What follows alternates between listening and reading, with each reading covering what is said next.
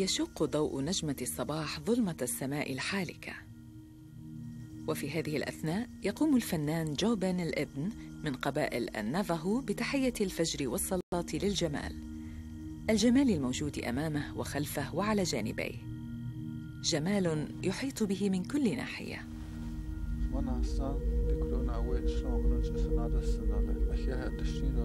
جوبن يراقب شروق الشمس ويصلي صلاة قبائل النفه للفجر ويؤدي شروق الشمس إلى انتشار الألوان في العالم.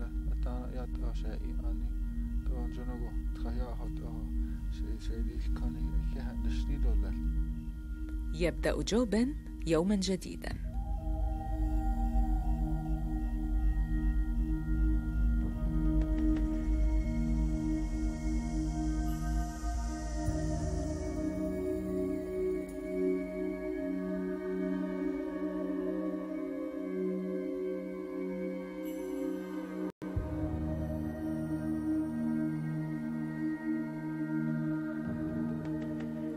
يستغرق رسم مثل هذه اللوحة عدة شهور.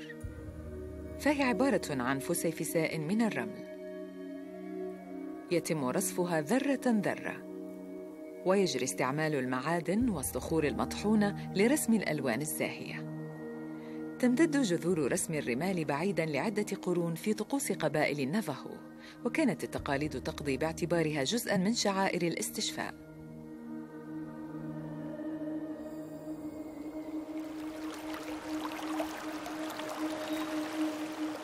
إننا جميعا نشاهد العالم عبر مسارب مختلفة حيث نسجل مناظر الحياة البهيجة ونصوغ الصور الخاصة بنا في مخيلتنا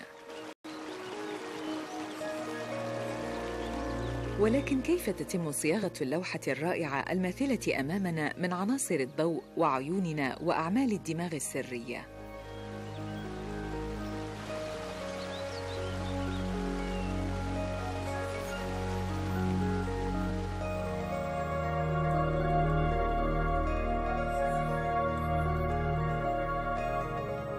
نقف الآن في وسط أراضي قبائل النافاهو في أخدود دوتشيلي في ولاية أريزونا. يقوم جوبن هذا الصباح بالبحث عن ألوان لرسم جديد. لقد أمضى سنين متعددة وهو يدرب عينيه على معرفة الجروف. ويقوم حاليا بالبحث عن عروق صخرية ملونة متعددة الطبقات بحيث يحتاج الأمر إلى منظار لمساعدته على تحديد اللون المناسب.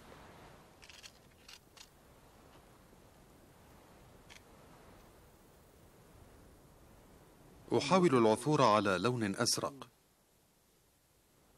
عثرت هنا على شيء يقارب لون المغرى الموجود فوق نبات الخزامة. وبهذا فإن المغرى يشكل العرق الرئيسي والمغرى مع لوحتي يعتبر لونا مناسبا. سأتوجه مباشرة إلى المكان الذي يصبح فيه الأخدود ضيقا لأرى إمكانية تحديد ذلك.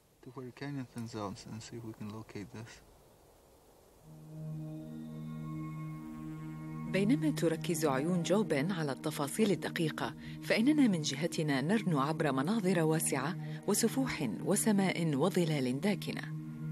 أما هو فيركز على شلال دقيق من الألوان حيث يختار عرقا من المغرى العسلية وعلى الرغم من اختلاف الطرق التي نشاهد بها فإننا جميعا نبصر بنفس الطريقة الضوء هو الذي يسمح لنا بالرؤية والإبصار ويوجد أكبر مصدر للضوء في نجمتنا المحلية الشمس. إننا نعتمد على الشمس للحصول على الدفء والطاقة ونعمة الإبصار. ولكن كيف يصبح الضوء ما تشاهده العين؟ الضوء شيء عجيب غريب ولا يوجد من يفهمه بشكل صحيح فهو لا يوجد شبيه له إنه شيء فريد يبدو وكأنه يتكون من موجات كما يبدو وكأنه مصنوع من جزيئات تشبه الرصاصات الصغيرة فهو عبارة عن جزيئات وأمواج وليس كمثله شيء خاصيته الثانية أنه في نفس الوقت الذي يمكننا من الإبصار فإنه ينشط العيون. فالرؤية في مؤخرة العين تختلف كليا عن الضوء الذي يصل إلى العين. نطلق على الضوء الذي يصلنا من الشمس اسم الضوء الأبيض. ولكنه في واقع الأمر يحتوي على كافة الألوان الموجودة على مرسمة الرسام ويقوم المنشور بإطلاق سراحها. الأحمر عبر البرتقالي ومن ثم الأصفر فالأخضر فالأزرق فالنيلي والبنفسجي وفي معهد البحث الاستكشافي في بريستول يقوم العلماء بفحص الكيفية التي يقوم بموجبها الضوء والعدسات بمساعدة عيوننا على التقاط الصور. إجراء التجارب على الضوء أمر مثير.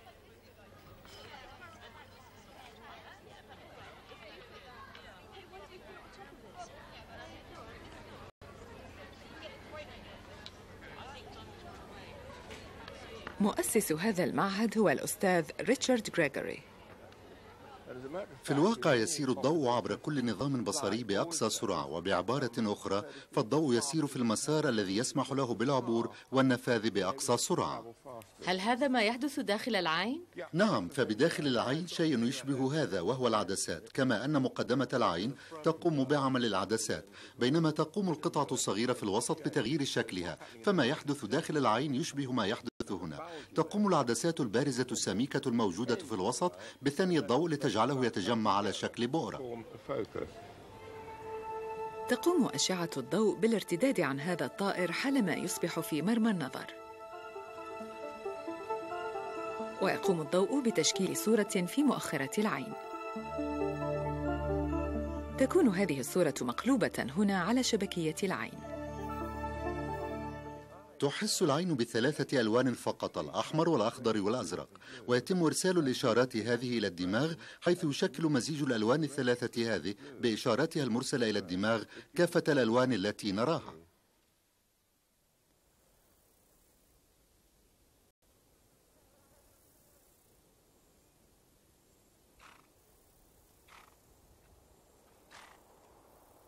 من الصعب التصديق أن ألوان هذا المنظر الرائع قد ابتدأت كلها في الشبكية بألوان الأحمر، الأخضر والأزرق.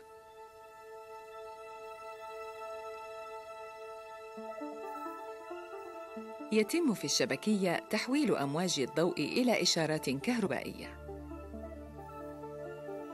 ثم يتم إرسالها فوراً إلى الدماغ عبر العصب البصري. أما الإشارات الأخرى فتحمل بينات عن الشكل والعمق والحركة.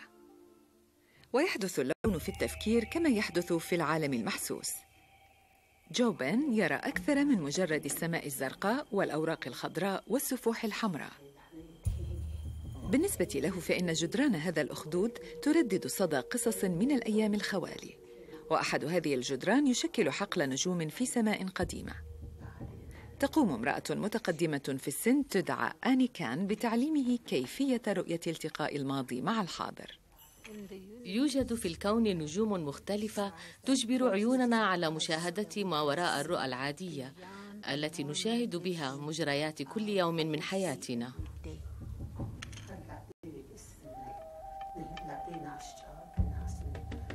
يتطلب رسم الرمل الذي نشهده في المناسبات تدريبا وتعليما مستمرا مدى الحياة. لقد بدأ جوبن الدراسة منذ أن بلغ الثالثة عشر من عمره ويمثل ذلك مبحثا روحانيا أحاله إلى شكل من أشكال الفن.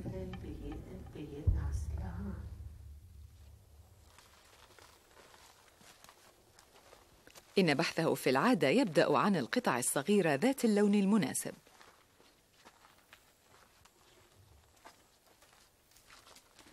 تقوم عيناه بمراقبة مناظر الطبيعة والبحث عبر الظلال والتنقيب بين ثنايا الصخور. ويكون المردود كما هائلا من المعلومات التي يجري تمريرها إلى القسم الخلفي من الدماغ.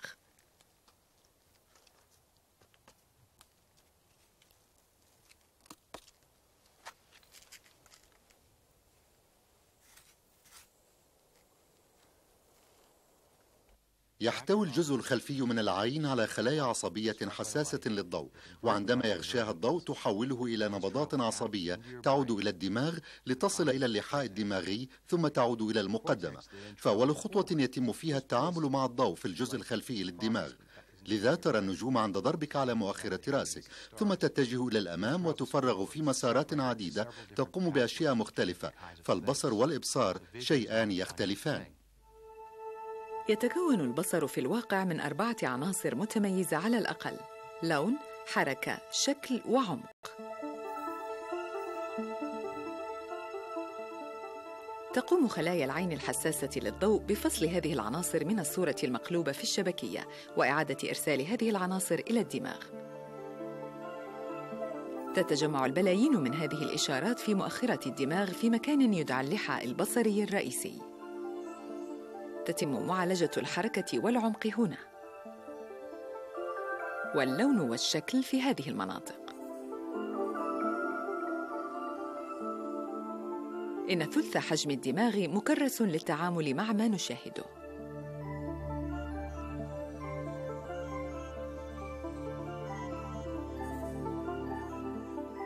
وفي النهاية يقوم الدماغ بتشكيل وصياغة إدراك موحد. أما الكيفية التي يتم بها ذلك فتبقى مبهمة. في الوقت الذي يقوم فيه جوبن بمتابعة بحثه عن الأصباغ، نقوم نحن بمشاهدة عناصر أخرى لعملية الإبصار وهي تؤدي وظائفها. وأول ما نشاهده هو عنصر الحركة. سرعان ما يلتقط الدماغ ذلك على شكل أبيض وأسود، وعلى الرغم من رؤيتنا للعالم ملوناً، فإن الدماغ في الواقع يقوم بالتعامل مع الحركة باللونين الأبيض والأسود، وإذا داهمك الخطر فلا وقت هناك للألوان. هناك ممر آخر في الدماغ يقوم بالتعامل مع الشكل. يرتفع خلف جوبن جبل شيبروك شاقا عنان السماء.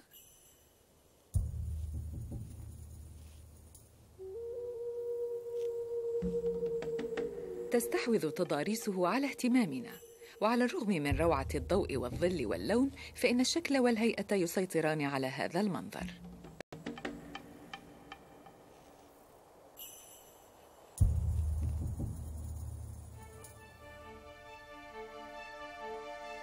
يمكنك مشاهدة تداخل الشكل واللون عندما تشاهد صورة الألوان المائية هذه التي رسمها بيكاسو. يبدو اللون وكأنه عالق بالتضاريس التي قام بيكاسو برسمها. إذا ما فصلنا هذا عنها فإنه يصبح من الصعب تفهم الرسم. هنا يصبح تأويل الشكل أكثر سهولة من تفسير اللون. والوجه الآخر للإبصار كامن في إدراك مفهوم العمق. لماذا نمتلك عينين؟ يقوم جوبن بحفر ثقبا في الأرض لجمع رمال الصحراء الناعمة التي يحتاجها لرسوماته. يقوم دماغه بجمع صورتين مختلفتين واحدة عبر كل عين. يمزجهما حتى يصبح باستطاعته إحساس العالم عبر فضاء ثلاثي الأبعاد. ولكن توجد هناك طرق أخرى لتقدير مدى العمق.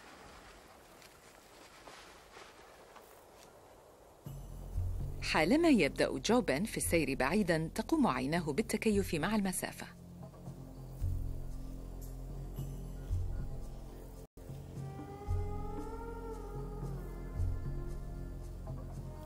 هنا تبدو النبتة ضخمة نظرا لقربها ويبدو الجبل صغيرا نظرا لبعده.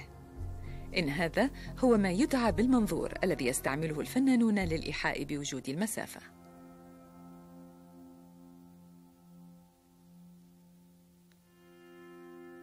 في هذه الصورة يبدو الخط الخلفي الأبعد كما لو كان أكبر.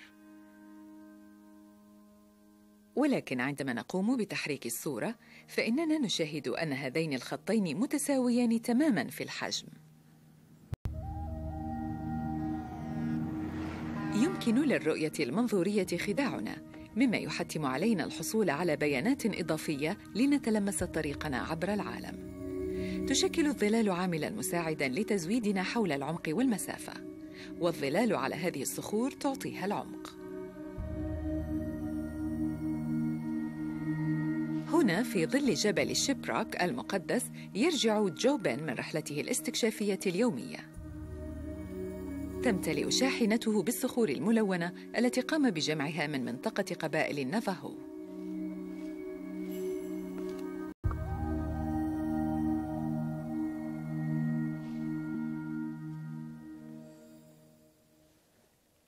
يجري فرش الكانفاس المشابه لنغمات التراب الذي تشتهر به هذه المنطقة.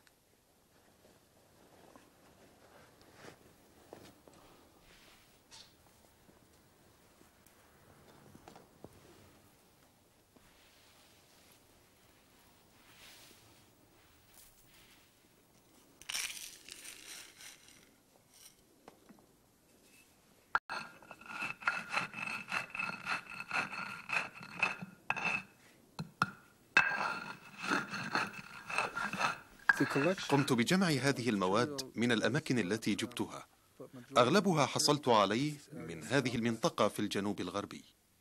تصبح هذه المواد على هذه الشاكلة أو اللون أو بهذا الملمس الناعم أو الخشن بفعل الظواهر الطبيعية حيث إنها تتأثر بالعوامل الطبيعية كعوامل الحرارة والبرودة والضغط.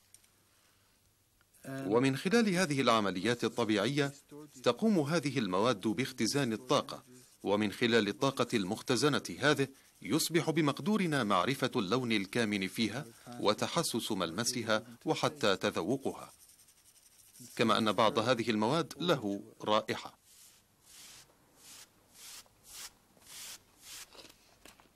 وكفنان يقوم جوبا باستعمال حواسه الخمس للبحث في هذه المواد والبدء بإبداعه.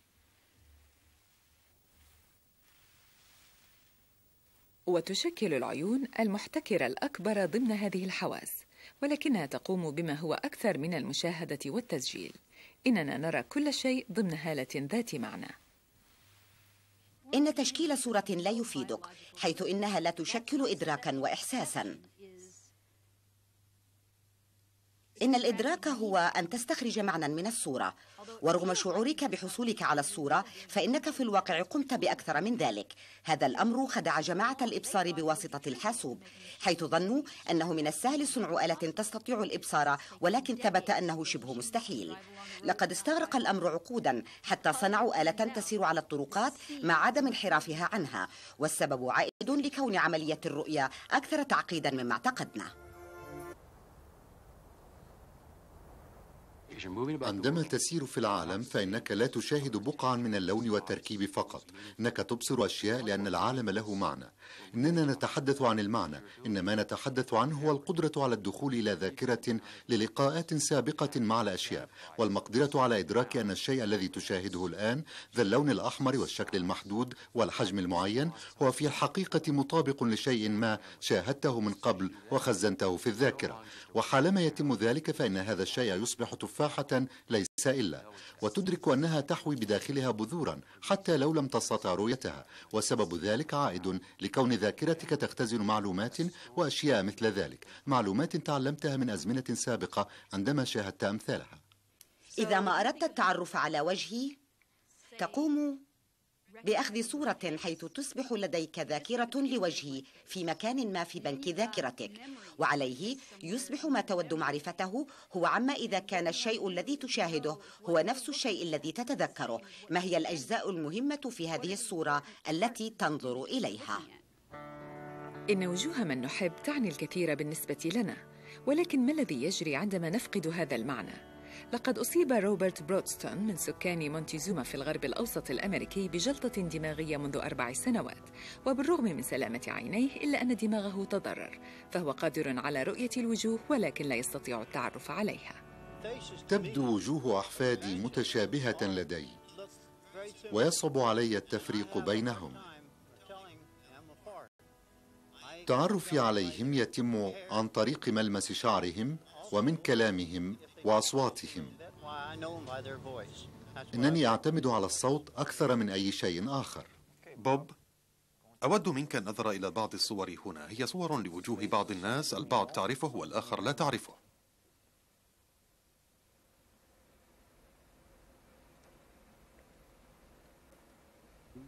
تبدو الصورة مألوفة ولكنني لا أعرفها. أتظن أنها لشخص تعرفه؟ نعم أظن ذلك. ولا تستطيع معرفته. لا أستطيع. خمن.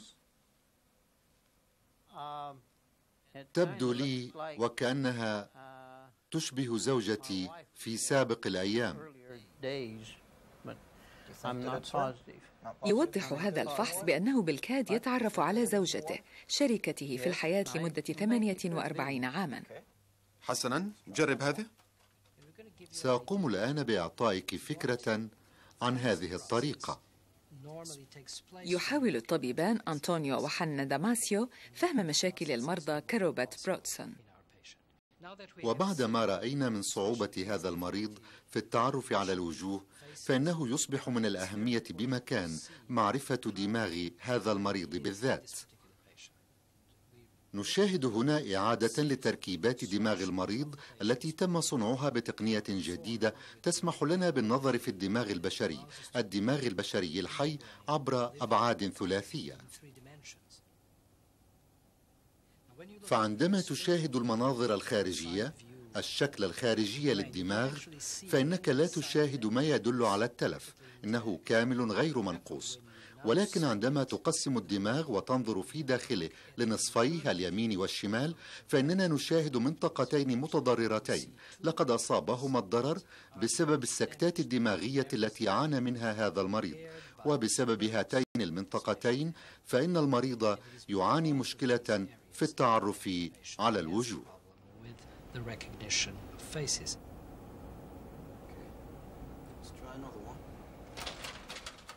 هل تعرف هذا؟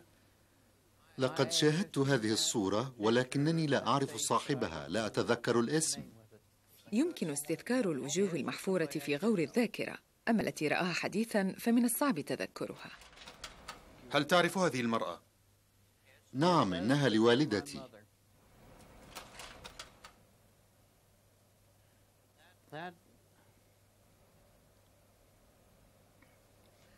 أما هذا فلا أعرف. يبدو الوجه مألوفا ولكنني لا أستطيع أن أتذكر هوية صاحبه.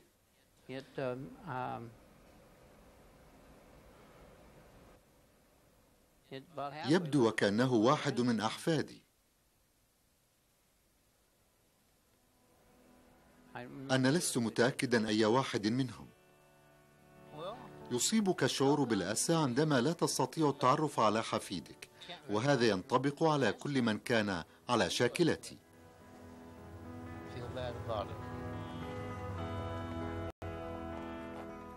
في العادة فإن الوجوه هي أول الأشياء التي نلاحظها عندما نتطلع إلى الناس. ولكن قد يخدع البصر أحيانا. هل تشاهد زهرية أم وجهين؟ إن دماغنا يتنقل ما بين الاثنين. هنا تحاول أعيننا التركيز مما يؤدي بنا إلى شعور نابض.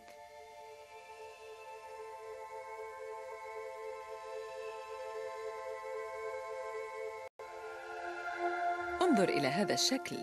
هل ترى صندوقاً؟ والآن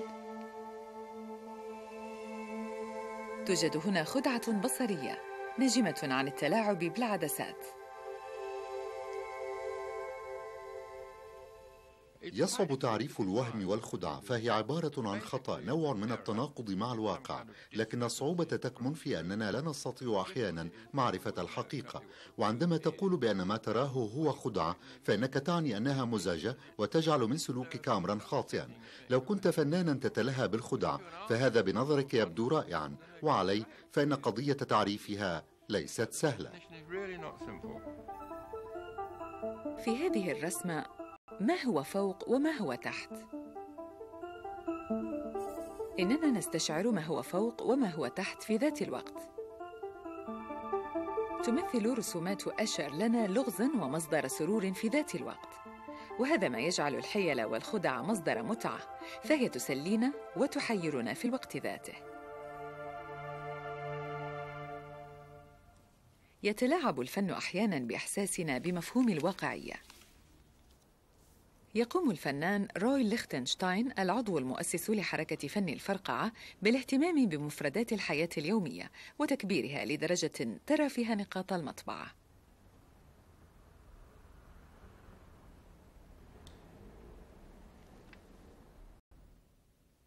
كنت أتصفح كتابا مليئا برسومات ليخنستاين. وعثرت على هذه الرسمة وسط مجموعة دعاها كنيسة مونيه هنا توضيح لكيفية قيام الرسام الانطباعي الفرنسي موني برسم كنيسة مدينة روين. وهنا نسخة ليختنستاين الانطباعية للوحة موني. إذا ما نظرت إلى هذه فإنها لا تبدو تشبه كنيسة موني إلا عندما تستعمل ضوءا متناقضا ما بين الأحمر والأزرق. عندها تبدو الرسمة وكأنها تقفز نحوك فلا تتمكن من رؤية الشكل حتى تستعمل الضوء المناقض. لقد جمع موني عالما من الأحاسيس انسابت سوية كحركات منفصلة. أما مارج ليفينغستون فتنظر إلى الفن من خلال عيون العالم. ولكن كيف ينظر روي ليخنستاين إلى فنه وأعماله؟ في شبابه وقع في هوى أعمال موني وفنه. كانت أعمال مونيه ترى من خلال عيون فرنسية وأوروبية وهذا ما أطلق عليه مدرسة باريس التي تميزت بسمات معينة في الرسم. لقد تعلم الفن والرسم على غرار الرسامين الفرنسيين الموهوبين ولكن مع مرور الوقت قام بتغيير أسلوبه. كان يحب الصور التي توجد في الكتب الساخرة المضحكة. تلك الصور التي كانت تخرج من المطبعة مصنوعة من النقط وعليه أصبحت النقط عنوانه وتوقيعه. لقد وجدت أن وضع النقاط بجانب المساحات المنبسطة شبيه بوضع الدهان السميك أو الخفيف. وهكذا بدأت أفكر بأنه يمكن استعمال هذه العناصر في الرسم. فالرسومات التي اعتادها الجميع هي رسومات جميلة وأنيقة. ولكنها مع مرور الوقت تصبح أقل أهمية. أما الآن فباستطاعة كل شخص عمل هذا. إنني لم أكتشف أي شيء والأمر هو تكرار لنوع من الجمال جرى تعليمنا إياه. ينظر ليختنستاين إلى العالم وكأنه حقل من النقط. وبالنسبة له فإن الجمال هو الموازنة ما بين العالم المنظور وأجزائه. شبه المختفية.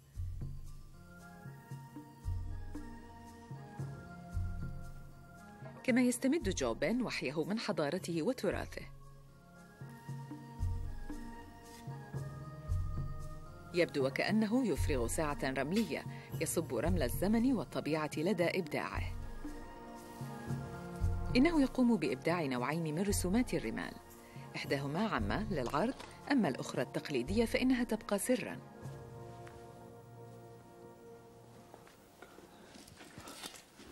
إنه يستعمل فنون أجداده النافاهو حيث يمزج الماضي مع الحاضر. عندما تبدع رسما على الرمال فأنت وكأنك تقوم بصياغة عوامل الطبيعة المحيطة بك وفق رؤيتك الخاصة. أنا أستند إلى أساطير تتحدث عن مجيء الإنسان إلى هذا الكون. أدلل على علاقة الإنسان بالكون والزمان والمكان.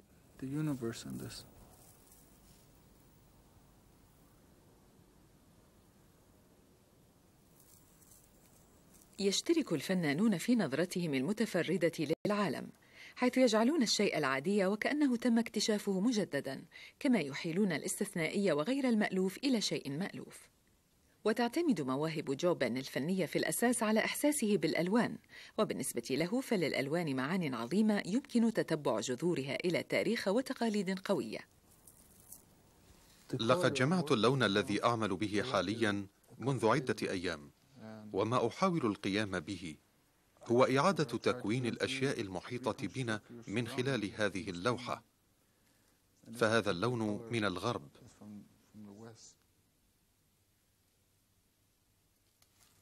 يهمني كثيرا استعمال المواد الموجودة في هذه المنطقة.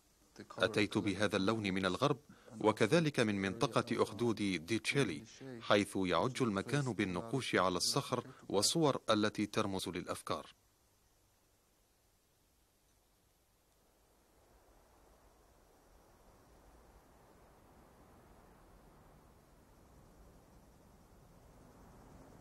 إنها نفس المواد التي استعملها الكثير من النافاهو في أعمالهم منذ سنوات عديدة. عندما تأكدت من قرب مصدر هذه المواد قمت باستكشاف جوانب الأخدود حيث وجدت بعض العروق التي قمت بدراستها وواتاني الحظ بالعثور عليها.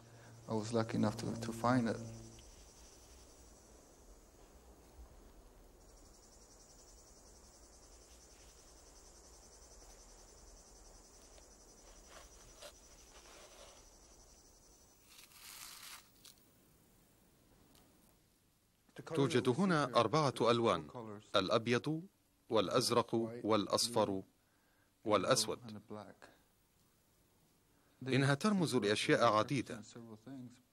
أهم ما تمثله دورة النهار واتجاهه. فالأبيض يمثل الفجر الشرق. والأزرق يمثل النهار الجنوب. والأصفر يمثل المساء الغرب. والأسود يمثل الليل الشمال. بالنسبة إلى جوبن فإن اللون يمثل طريقة لنقل الإحساس بالمكان والزمان. وكما هو الشأن بالنسبة له فإننا جميعا نرى الأمور من خلال عدسات ثقافاتنا وشخصياتنا وطرق تنشئتنا.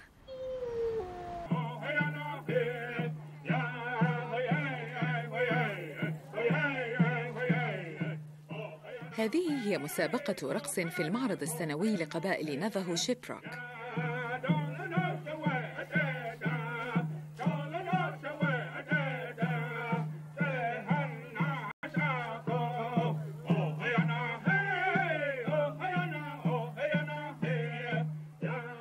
يعيش هنا ما يربو على 210 آلاف من قبائل النافاهو الفخورين بجذورهم الضاربة في الأرض والتقاليد والقبائل.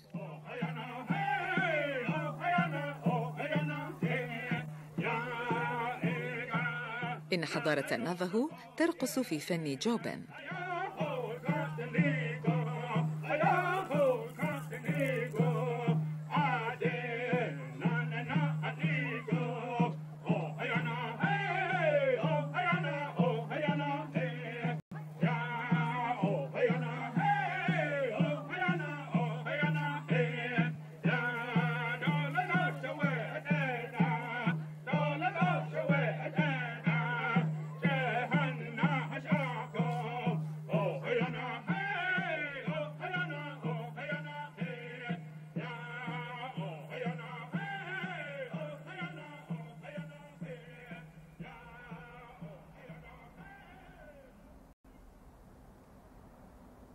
عندما أنظر إلى الرسوم الرمزية والنقوش الصخرية لقبائل النافاهو فإنني أتساءل ما الذي كان هذا الإنسان يحاول التعبير عنه كإنسان يعيش في مجتمع وله حضارة؟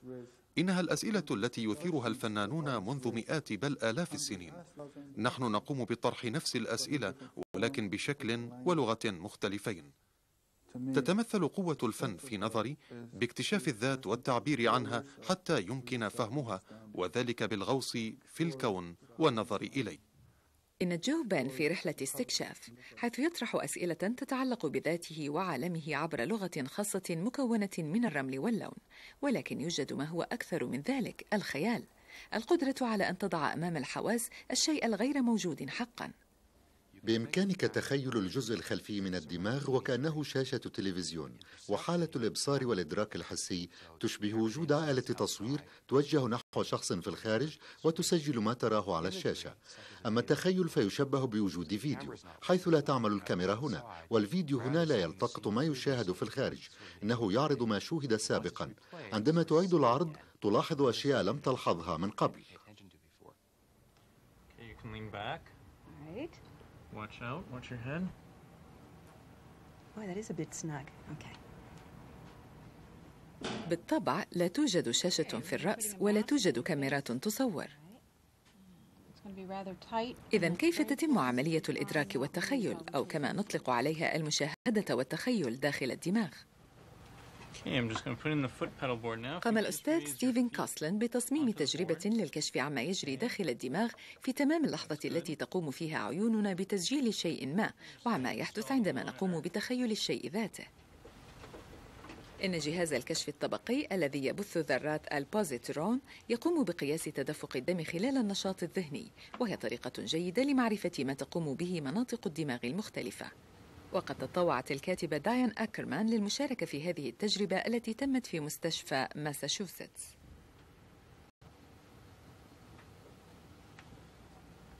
سأضع مجموعة من الأنابيب عبر الأنف من أجل استنشاق المادة المشعة. في هذه التجربة أود أن تتنفسي من أنفك وأن تخبريني عندما تخرج الأنابيب من مكانها. هذا الشيء شبيه بقناع الأكسجين مفرغ لإبعاد الإشعاع. يتم استعمال الغاز المشع بكميات ضئيلة لمتابعة جريان الدم في الدماغ. إن الأمر ليس خطرا ويساعد العلماء على فهم ما يجري. كيف تشعرين؟ ممتع.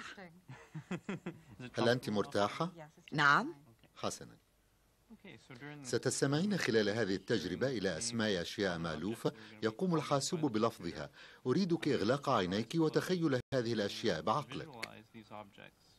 أما الجزء الثاني من التجربة فسيتم عرض هذه الأشياء على الشاشة. وعندها سأطلب منك فتح عينيك والنظر إلى الشاشة. كما ستستمعين إلى أسماء أشياء أخرى سيتم تقديمها إليك وتقومين بمشاهدتها فعلا.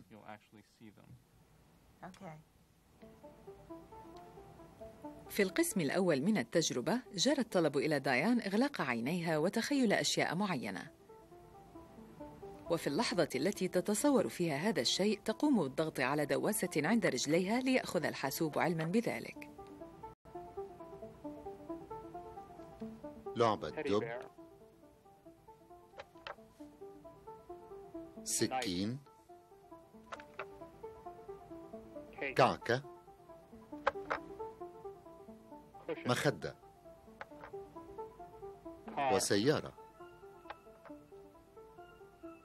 حقيبة بشكل حبة فاصوليا. دمية. وفي القسم الثاني من التجربة يقوم الحاسوب بإسماع دايان باسم الشيء ويريها صورة. ومرة أخرى فإن عليها الضغط على الدواسة الموجودة عند قدميها حالما تتعرف عليه. تفاحة دمية سكين. تحتاج آلة الحاسوب عدة سنوات لمعالجة هذه المعلومات والتوصل إلى نتائج. فهل يستطيع الدماغ التمييز ما بين الشيء الحقيقي والشيء الذي يجري تخيله؟ توضح التجربة النشاط الذي يحدث خلال عملية التصور الذهني في الوقت الذي لا تشاهد فيه شيئا بالفعل. يشير اللون الأحمر إلى التدفق الأكبر للدم وبالتالي لنشاط الدماغ يليه الأصفر. أما الأزرق فيدل على الخمول. الأمر المهم الثاني الذي يمكن استخلاصه من هذه الصور هو أن الإضاءة ليست محصورة في مكان واحد فهناك ترتيب شامل للنشاط في كلا الحالتين. أول ما يمكن استنتاجه من هذه الصور هو مدى تشابهها. إنها نفس النشاطات التي تحدث في دماغك عندما تتخيل شيئا. إنها ليست موجودة في الحقيقة بل أنت تتخيلها. تحدثنا عن الإبصار ككاميرا تعرض على شاشة وعن التخيل الذهني كشريط فيديو يجري تدويره ولكن هذا تبسيط مبالغ فيه. فالواضح أنه أثناء المشاهدة تصل إليك معلومات من الذاكرة تشبه الصور التخيلية تأتي إلى الخلف وتملأ ذلك الذي لا تشاهده فعلا. إنها تجسيم لما لمحته انظر إلى اليد وتخيل التفاحة. انظر إلى التفاحة وتخيل اليد.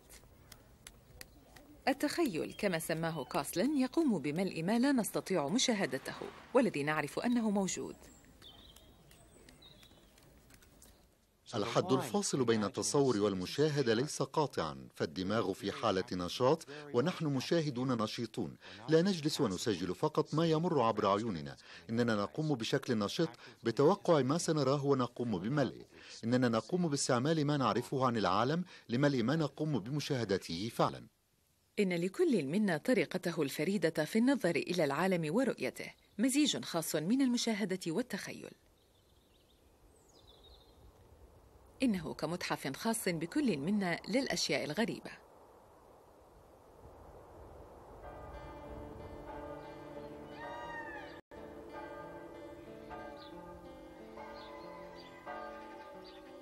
قررت الحكومة الفرنسية عام 89 وضع استخدام جديد لقصر في وادي الوار جرى بناؤه في القرن السادس عشر. لقد قاموا بتحويل هذه القلعة القديمة إلى متحف للفن يضم أعمالا فنية من إفريقيا والأمريكيتين وآسيا وأوروبا جنبا إلى جنب مع مجموعة القصر الموجودة أصلا والمحتوية على فنون عصر النهضة.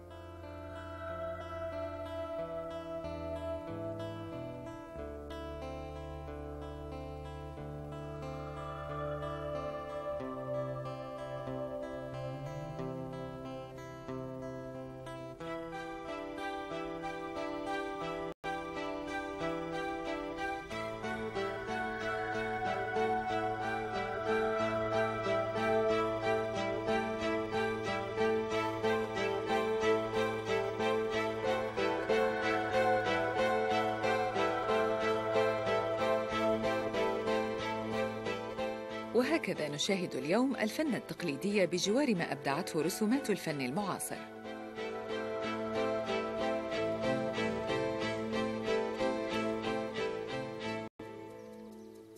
هذه هي الأقنعة المستعملة في الرقص من نيجيريا. وتعتبر كل غرفة بمثابة حفل للطرق التي يقوم فيها الفنانون بإثارة حواسنا.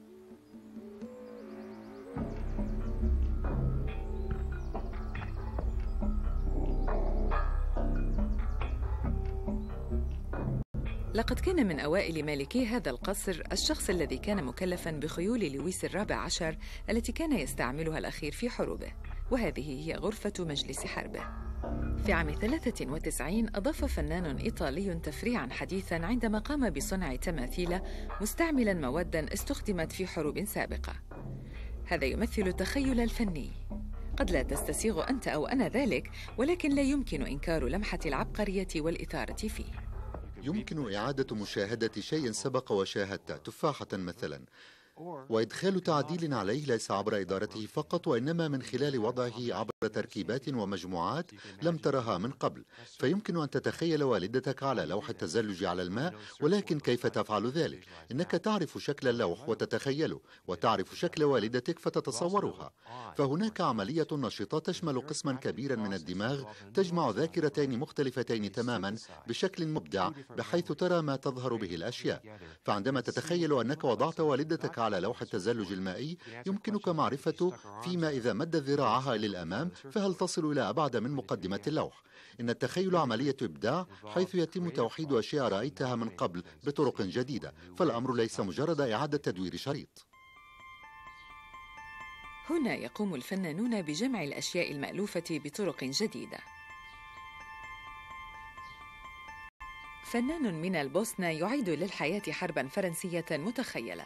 يدعوها حرب المذاري حيث يثور المزارعون فيها ضد الأرستقراطية. وفيها يصبح المزارعون مذاري مزروعة في الجدران بينما يتم تحويل ملاكي الأراضي الأغنياء إلى صور تدعو للاحتقار.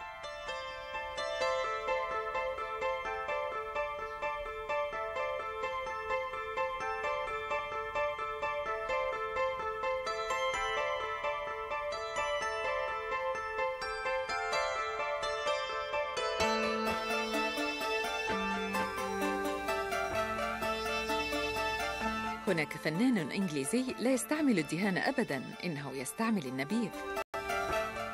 ولمبات الإنارة. وكاسات قديمة.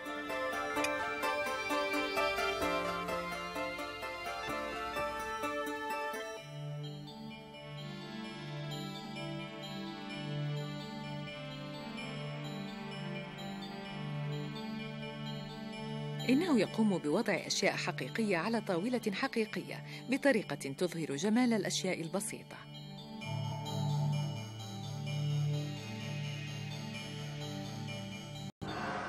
ولكن عندما ننظر إلى بعض الأعمال الفنية فإننا ندرك بأن ما نراه ليس حقيقياً، إلا أن أدمغتنا تنظر إلى هذه المعلومات وكأنها حقيقية.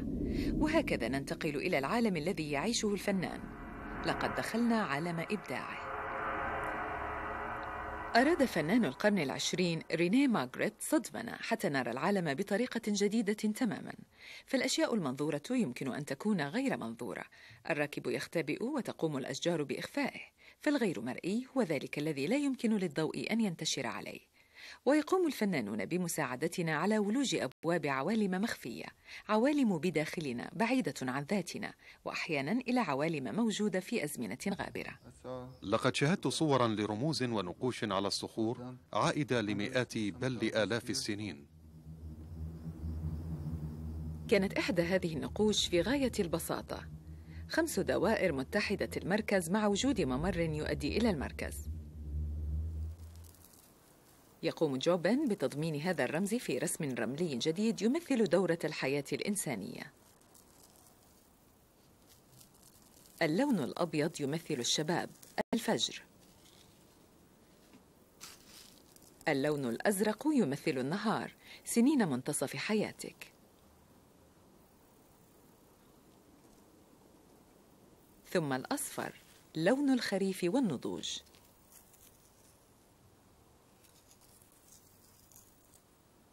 وأخيرا نتجه شمالا نحو سواد الليل الشيخوخة والموت.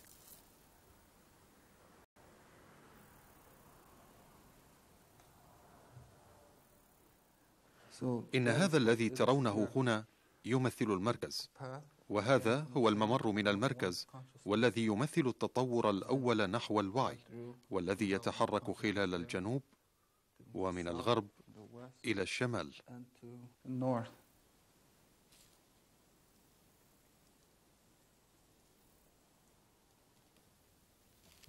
لا يوجد في لغة نافاهو كلمة مرادفة لكلمة فنان. هناك أناس يؤدون هذا الدور ولكن لا يطلق عليهم اسم فنان.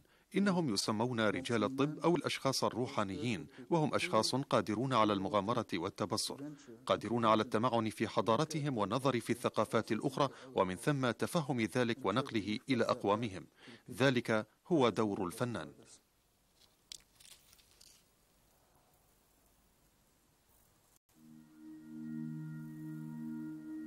وبحسب ما جرت عليه الأعراف فإن رسم الرمل كان يجري لغاية الاستشفاء. وكان راسم الرمل يصنع رموزا معينة من أجل معالجة عدم التوازن الكائن ما بين المريض والطبيعة. وخلال طقوس الاستشفاء كان المريض يجلس على الرسم الرملي لاستعادة التوازن.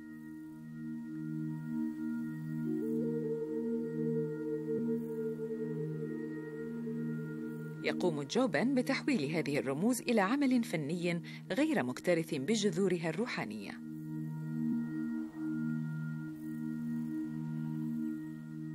حسنا لقد انتهيت. تم إنجاز العمل. سأقوم بوضعها جانبا في الوقت الحاضر. والتسلسل الذي سيتم به عمل ذلك هو من الشرق إلى الجنوب ومن الغرب إلى الشمال. أما اللون فسيكون من الشرق ومن الجنوب ومن الغرب ومن الشمال. إنما تعتبره الحضارة الغربية تدميرا هو تجديد من وجهة نظر نافاهو الطاقة الموجودة في هذه اللوحة الرملية ستعود للأرض من أجل إعادة استعمالها من قبلنا ومن قبل الأجيال القادمة المرة تلو الأخرى.